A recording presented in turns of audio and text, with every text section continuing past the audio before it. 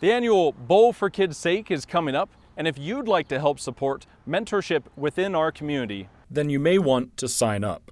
Big Brothers Big Sisters is an organization that matches mentors or volunteers with littles out in the community, and we provide them with opportunities and experiences that they may not have had otherwise. So they get some one on one time from volunteers that give them some positive reinforcement, teaches them confidence, and it also helps them build relationships. Bowl for Kids' Sake has been a major fundraiser for nearly two decades. Yeah, so Bowl for Kids Sake has been going on for at least 20 years. It's been an event that has been one of our largest events, um, and it kind of went away because of COVID. And so we're working really hard to build up that momentum and to get Bowl for Kids Sake out there again.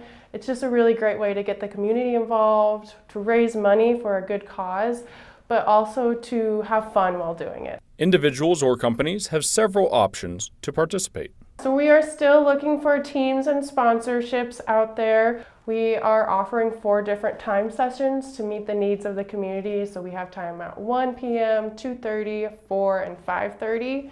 And our last two sessions are the black lights. So they turn off the lights and they have all the cool little lights and Cosmo things going on. The funding goal is getting close. So right now we are sitting at about 15,000 towards our 25,000 goal for Great Falls.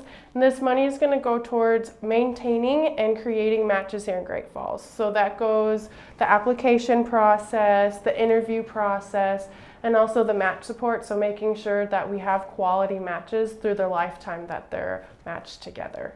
The program needs volunteer bigs as well. And so for our volunteers, we ask that they are able to commit for at least one year and that they have some reasonable expectations when it comes to the program. They have to be 18 or older to be out in the community and be able to pass a background check. For our littles, they can be out in the community or in the school-based program um, and just have a willingness to be a part of the program.